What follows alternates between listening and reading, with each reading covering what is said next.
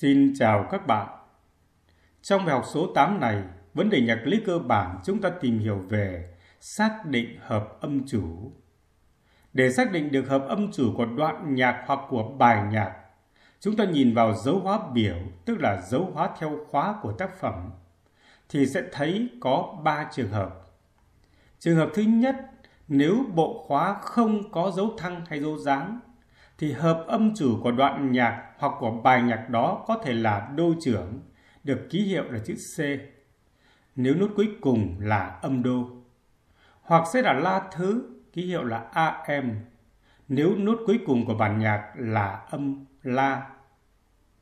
Hai hợp âm đô trưởng và la thứ này còn được gọi là hợp âm song song hay là giọng song song của tác phẩm, được quy định cách nhau một quãng ba thứ bằng một cung rưỡi. Trường hợp thứ hai khi bộ khóa có dấu thăng thì cách tính hợp âm chủ sẽ từ dấu thăng cuối cùng tính lên nửa cung. Cung đó tên là gì thì đó sẽ là tên của hợp âm chủ ở thể trưởng. Rồi từ đó tính xuống một quãng ba thứ, chúng ta sẽ có tên của hợp âm chủ ở thể thứ song song. Ví dụ những tác phẩm có một dấu thăng thì từ pha tính lên nửa cung sẽ là son. Vậy nếu tác phẩm kết thúc ở nốt son sẽ là giọng son trưởng. Nếu kết thúc ở mi sẽ là mi thứ. Còn nếu tác phẩm có hai dấu thăng thì dấu thăng cuối cùng là đô tính lên nửa cung thành rê. Vậy nếu nốt cuối cùng của đoạn nhạc hay tác phẩm là rê thì đây sẽ là bài giọng rê trưởng hoặc nếu kết thúc ở nốt si sẽ là giọng si thứ. Cũng tương tự như vậy. Nếu có ba dấu thăng thì dấu thăng cuối cùng là son thăng, tính lên nửa cung sẽ là la, cho chúng ta giọng la trưởng hoặc pha thăng thứ. Bốn dấu thăng sẽ là mi trưởng hoặc đô thăng thứ và cứ tiếp tục như thế. Trường hợp thứ ba, bộ khóa có dấu dáng. Nếu chỉ có một dấu dáng thì hợp âm chủ của đoạn nhạc hoặc của bài nhạc đó có thể là pha trưởng, ký hiệu là F, nếu nốt cuối cùng là âm pha, hoặc là rê thứ, ký hiệu là GM, nếu nốt cuối cùng là âm rê. Còn nếu có từ hai dấu dáng trở lên, thì dấu dáng ngay trước dấu dáng cuối sẽ là tên của hợp âm chủ ở thể trưởng. Rồi từ đó tính xuống một quãng ba thứ, chúng ta sẽ có tên hợp âm chủ ở thể thứ tương ứng. Cụ thể như vừa nói, nếu tác phẩm chỉ có một dấu dáng thì tác phẩm đó thuộc giọng pha trưởng hoặc rê thứ. Còn nếu có hai dấu dáng trở lên thì dấu dáng ngay trước dòng cuối, ví dụ ở đây mi là dấu dáng cuối, vậy thì dấu dáng ngay trước là si, chính là tên của hợp âm ở thể trưởng là si dáng trưởng còn hợp âm song song là son thứ. Tương tự như thế, trong tác phẩm có ba dấu dáng thì dấu dáng cuối cùng là la. Vậy thì trước la là mi, vậy tác phẩm này là mi dáng trưởng hoặc đô thứ. Cũng vậy, bốn dấu dáng thì dấu dáng cuối cùng là rê, vậy dấu dáng trước rê là la. Tác phẩm này thuộc giọng la dáng trưởng hoặc pha thứ và cứ tương tự như thế.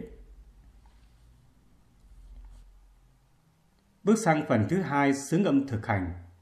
Trong bài học hôm nay, chúng ta thực hành xứng âm giọng son trưởng với bộ khóa có một dấu thăng. Đây là thăng âm son trưởng và đây là thăng âm mi thứ. Son trưởng và mi thứ, như đã nói, là hợp âm song song, cách nhau một quãng ba thứ.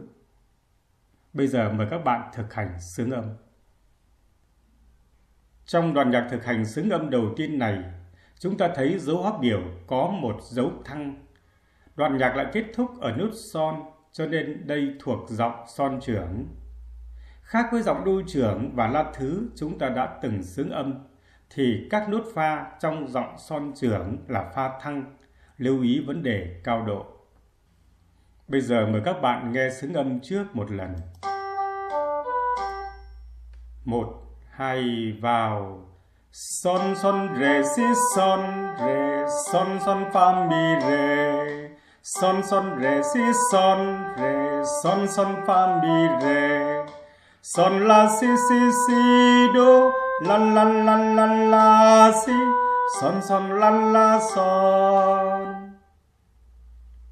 bây giờ mời các bạn xứng âm cùng. Một, hai, vào. Son son, re, si, son, re. Son son, fa, mi, re. Son son, re, si, son, re. Son son, fa, mi, re. Son, la, si si si, do. La la la la la, si. Son son, la la, son bây giờ mời các bạn xứng âm cùng với tiếng đàn. Một hai vào.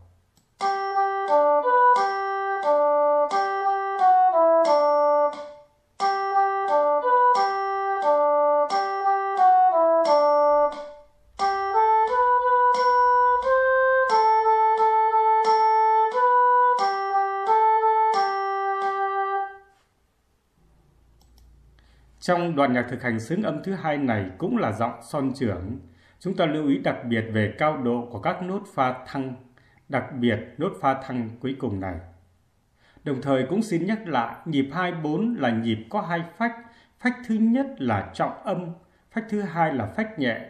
Vì thế khi xứng âm, chúng ta cũng cần phải nhấn vào nốt đầu tiên của đầu mỗi ô nhịp, tức là nhấn vào trọng âm. Bây giờ mời các bạn nghe xứng âm trước một lần.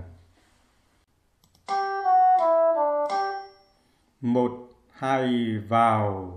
Son fa mi re son fa mi re son son la la si si son fa mi re son fa mi re son son la la son son si la si do si la si la, si do, si la.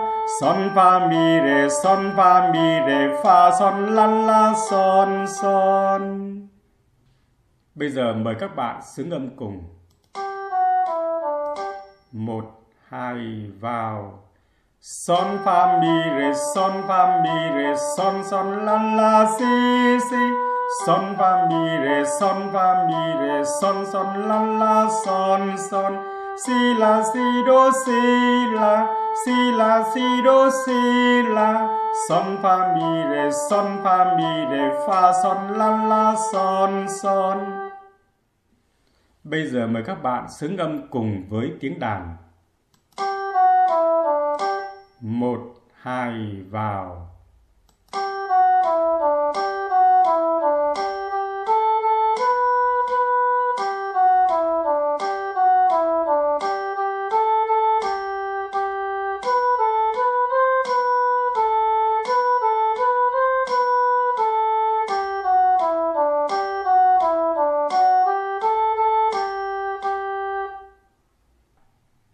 Trong đoạn nhạc thực hành xứng âm thứ ba này, chúng ta cũng thấy ở dấu hóp biểu có một dấu thăng.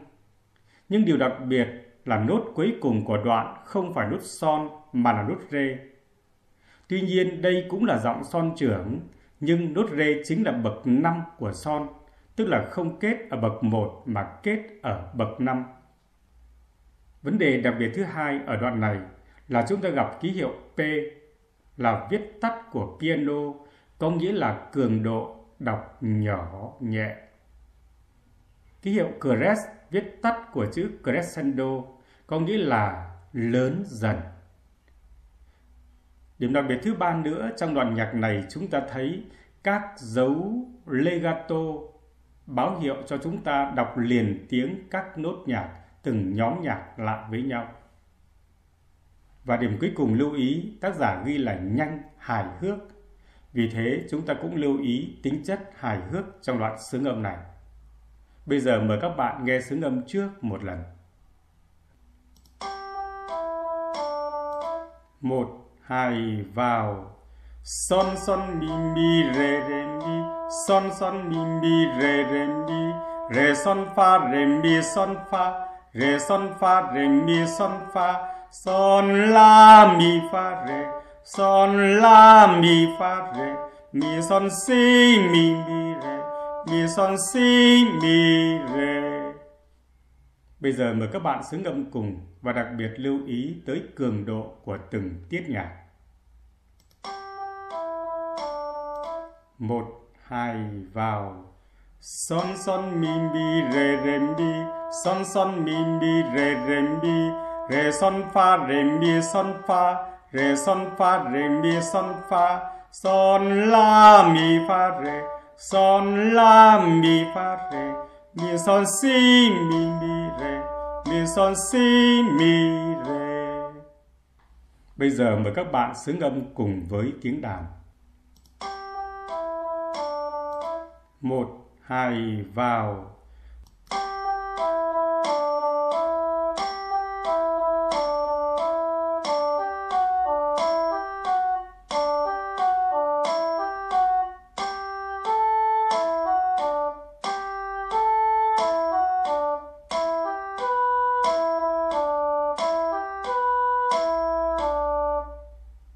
Như vậy bài học của chúng ta hôm nay đã xong. Mời các bạn dành nhiều thời gian để ôn luyện cho kỹ, nhất là có thể tự sướng âm mà không cần dựa vào tiếng đàn, tiếng hát. Chúc các bạn ôn luyện thành công. Xin cảm ơn và hẹn gặp lại.